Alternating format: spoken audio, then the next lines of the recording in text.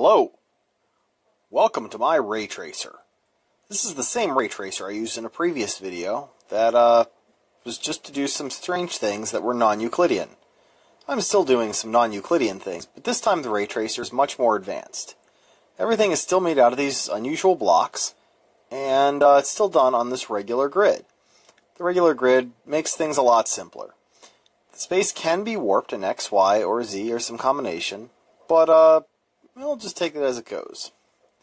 I actually turned this kind of into a video game. I'm calling uh, the engine No Euclid, and the video game is probably going to be Get to the Blue Block. Because the whole goal of the game is to always get to the blue block. We'll do that right now. So in this room down here, you can see that the room is actually somewhat breathing. That is because the density of the walls can change. And because everything is uh, rendered with the procedural texturing, it depends on the 3D location of where the wall point actually is. So, as you can see, as the walls retract, we're kind of seeing slices through this rock texture.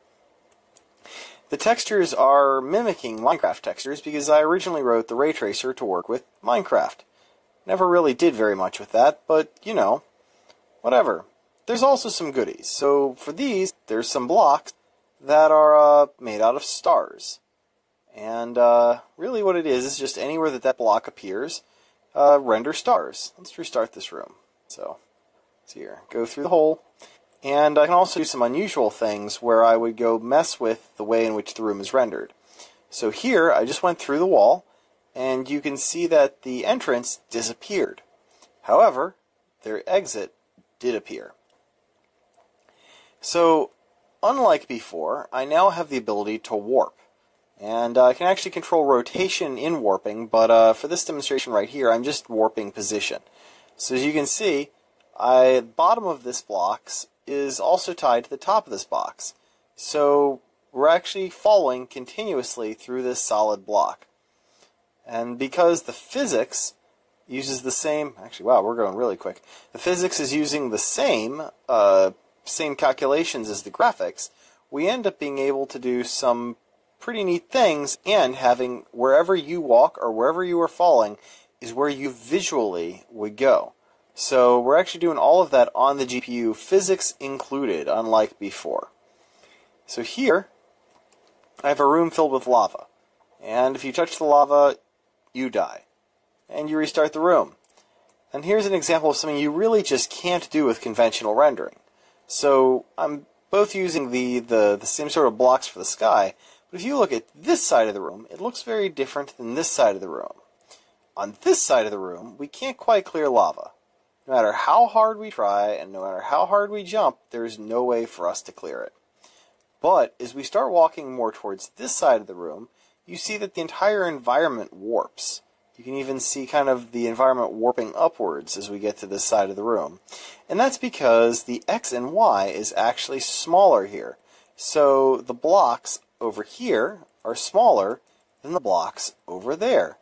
Over here, it's trivial to skip from one block to the next whereas over there it's virtually impossible.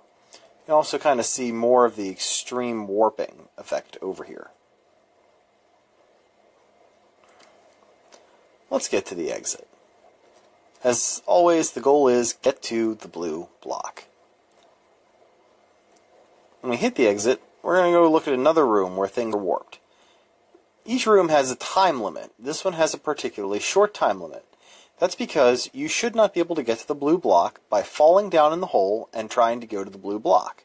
And that may seem strange, but it's because sometimes the fastest point, fastest path between two points is not a straight line. Sometimes it's go sideways and then go to the blue block. As you can see here, blue block is far away. Oh, restart. Oops. But over here, space is very compressed, so we can just walk straight to the blue block. You can also see kind of this warping effect that would just be impossible with traditional uh, polygon rendering. And the blue block here. And sometimes, like here, you just can't get across. There's just no way to get to that blue block. Sometimes the fastest and only path is not a straight line. Sometimes you have to go the wrong way to get to the exit. One of the other constructs I've added in this game is the ability to pick up certain blocks. So here I'm picking up all of these gold ore blocks in order to put them in my inventory so that I can get to the exit, which is over there. I can jump, but there's no way for me to get there on my own. I can, however, put up some walls here, and I can use the blocks that I've placed to my advantage. So I can go up here, up here, and now I can go over here. Of course, if I want, I could just go jump right back, but, you know, what fun is that? This kind of also shows off that we can make gravity appear to go the wrong way by flipping space upside down when we warp. So I'm going to go place a little path right here to get across. Okay. And one of the other neat things I can do is reuse rooms. So here, oh, I can also suck blocks through portals because the same mechanism that is used for sucking blocks is the same one that we visually render with. So if you can see something, you can affect it in the same way that it's visually there. So for example, in this room, we can go and we can build a little path up because sure enough, that's not a blue block anymore, that's a white block. White block means it doesn't really do anything. I can go over here and say I want to get above the clouds. I can just go place some of these golden blocks. And I can just keep doing this until I get much closer to the ceiling. I'm going to see the extreme and the warping effect here. Let's see, probably two more. Woo! There we go. Now we can make our way across over to the blue blocks. I can just place these here, and you can see how it actually renders around it. It tries to render the densities all correctly. Again, this is all ray tracing, except for, you know, the text on the screen. But for the most part, I mean, anything that you see that's a visual, like, element is being ray traced. This is uh, another room where I'm tweaking things continuously to get across. And like always, if you fall into lava, you die. So here we're to give it a moment to kind of get a path going. Oh, whoops, I messed that up. Oh no. See here, gotta, uh, see, gotta get to that, uh, blue block, whoa. Okay, this is actually the end of what I've written, and you can see right here that I have an entire world that I can fill in with new puzzles and all I'm right now using is just this small area over here. One of the neat things about these puzzles that I'm doing is I'm using TCC, so I can actually manipulate the puzzle in, you know, while I'm playing the game. So if I jump back to room, say, 0, right here, I can modify the code that controls this room in real time. So right here I have the code, and I can go room 0, and if I look in here, I can see all of the code that's being executed to generate this room. I can go and modify it very easily. Say I want to make that uh, block number 80 instead of 83. Somewhere here, it should be 80. Maybe I'm getting a little confused. Nope, up there. So that's the block up there. Let's see if we can get that in view.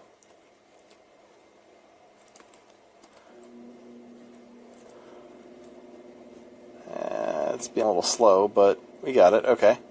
I can change the number for the block, and it recompiles the code in real time.